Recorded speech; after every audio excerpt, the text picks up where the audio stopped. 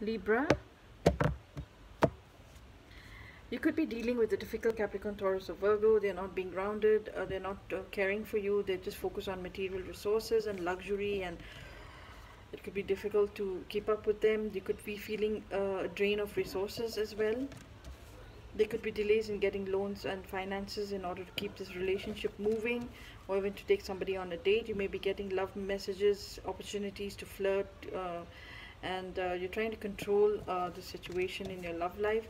You may not be getting the results you want after a lot of effort. You could also be rejecting a love offer from a cancer scorpio pisces. Your love oracle says your love life is influenced by religious upbringing and spiritual path. Uh, pay attention to the red flags. The signs are cautioning you. And codependency. Addictions are affecting your romantic life